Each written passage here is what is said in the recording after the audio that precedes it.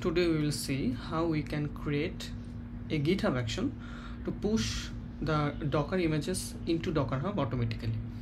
So let's say i have a node.js project here and i already have a docker file. So every time my code updates what i need to do is i need to build the docker image and push it to docker hub manually. But i don't want to do that. So what i want to do is whenever i push any changes to the master branch it will automatically trigger a github action which will log into docker hub build the docker image and push it to docker hub okay? So let's see how we can do this. First go to your docker hub. This is my docker hub uh, dashboard. First create a new repository. Give this repository a name. Let's say i give this repository the same name as my github repository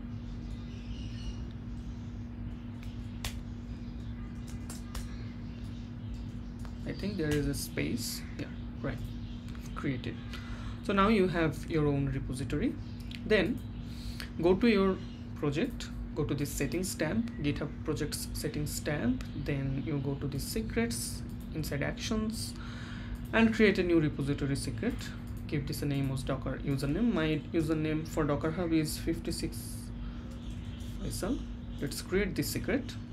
You will see that you have one secret called docker username and i will explain why we need this later. First create those you will create another new secret called docker password. So i will not give my uh, actual password here. Let's say this is my password. You will give your password here and create the secret. Okay? So it takes care of creating the secrets. One is docker password and another is docker username.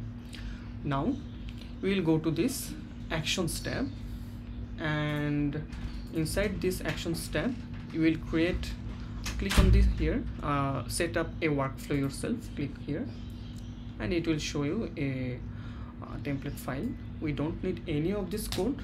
I'll provide you the link to this particular gist that I have created. Just copy paste all of the contents here and paste it inside your new action file okay? So let's see what this action file is actually doing for us.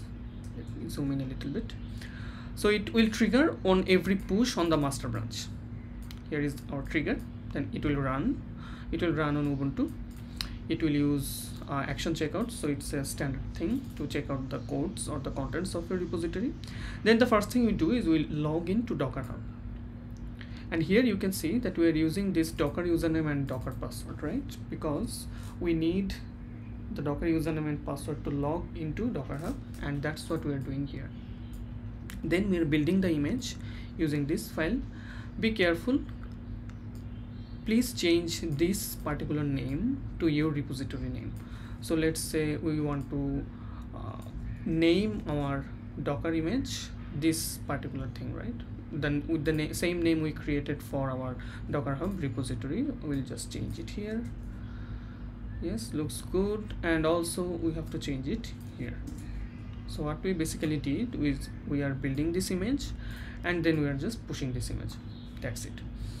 But this time it will not work right? Uh, and you, you can just let me zoom out. You can just start commit create the main.yml file uh, just keep it as it is and commit the new file.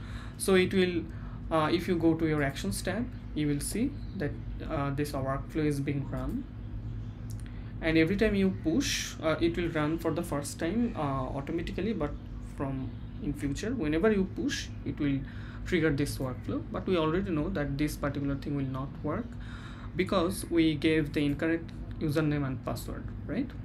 But let me show you a repository where I have given the actual username and password and how it looks like. So this is another repository. I'll link it in the description as well. I'll link both of these in the description.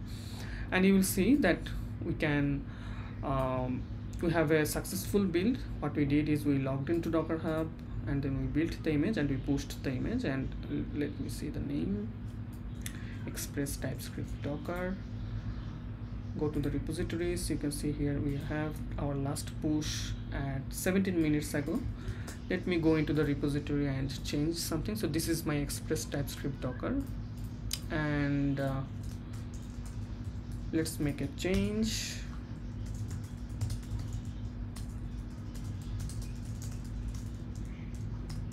let's keep it simple as this and just push it to the github.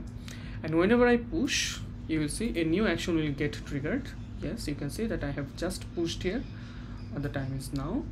And it's uh, showing us the commit messages that i pushed with as well. And it will now build the image log into docker hub build the image and push it to docker hub. And if everything goes right here we can see that the last last push was 17 minutes ago but we should see a new push uh, or a new version of our image here within a short time whenever our action is successful. So now what it is doing it's building the docker image and it has some caching capabilities as well so it should not take that much of a time. And uh, yeah let's let's just wait for it to finish and now it's finished. Now it's pushing the updated docker image to our docker hub. You can see it some of the layers already exists because i have pushed previously. And uh, yeah everything is everything looks correct. Let's yeah. So it's successful whenever you see the green check it means it's successful and let's go to docker hub. So refresh it sorry for the slow internet speed. And yeah you can see that we have our latest image which was pushed a few seconds ago. So which means our push was successful. And uh, yeah uh, that's what I wanted to show you. It's very easy to set up. GitHub Actions is also free for 2000 minutes I think so it will be calculated based on the time it runs. You can see eh, this particular action was run for one minute. So out of the 2000 free minutes I have wasted or I have used one minute something like that. So it's very powerful to automate a lot of your workflows and this is just one of the examples. Thank you so much and have a great day.